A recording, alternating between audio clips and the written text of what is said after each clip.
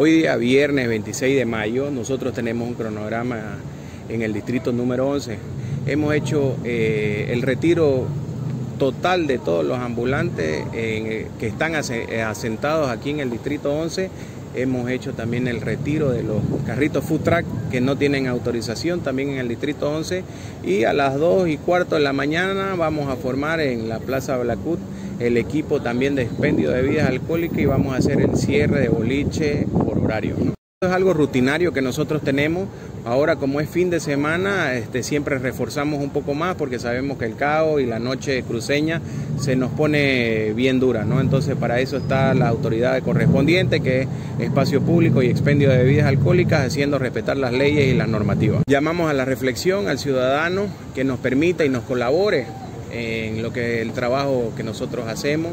Nosotros como espacio público tenemos que retirar a todas las personas eh, ambulantes de los lugares que están siendo invadidos por el espacio público.